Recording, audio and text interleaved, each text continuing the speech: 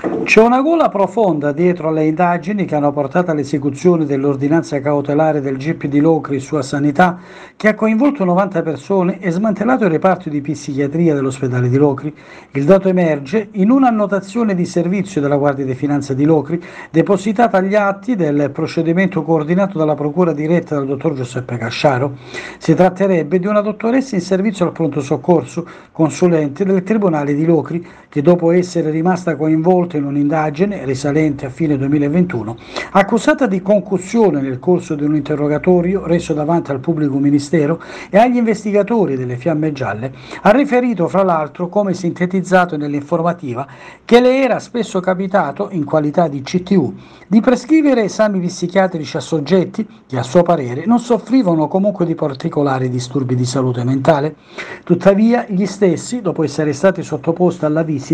esibivano certificati a firma del dottor Filippo Lascala, in servizio presso il reparto di psichiatria, nei quali venivano invece messi in evidenza seri problemi di salute mentale. Proprio a seguito di queste dichiarazioni, l'autorità giudiziaria ha disposto una specifica attività di captazione di conversazioni telefoniche e telematiche nei confronti del dottor Lascala, di fatto poi confluite nel procedimento sua sanità che ha portato all'arresto del medico disposto dal GIP su richiesta della Procura di Locri.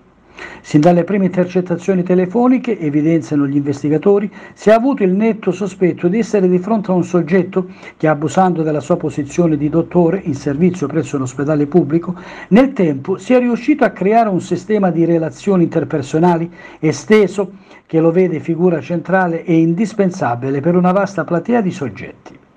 Nel proseguo dell'indagine si è passati anche a intercettare l'indagato che tra l'altro ieri si è avvalso della facoltà di non rispondere davanti al GP di Locri dove era presente con il difensore avvocato Luca Maio. Anche tramite dispositivo telematico le successive intercettazioni telematiche rilevano i finanzieri hanno confermato appieno i sospetti iniziali, disvelando ulteriori dettagli che consentono di affermare che il dottor La Scala, dietro compensi di denaro o altre utilità, nonché per tornaconto politico, rilascia certificazioni compiacenti a chiunque gli si presenti direttamente o per interposta personale. Ma non solo, proseguono gli inquirenti, il Scala interviene anche presso colleghi dell'ospedale di Locri al fine di fare rilasciare anche ad essi certificazioni compiacenti nelle quali vengono relazionati problemi di salute di gran lunga amplificati o addirittura inesistenti, a volte persone in favore di soggetti